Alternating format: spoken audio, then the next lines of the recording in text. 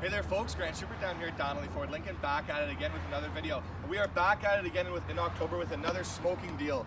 During October, you can get 0% financing on most models, plus the eligible Costco members get an additional $1,000 off.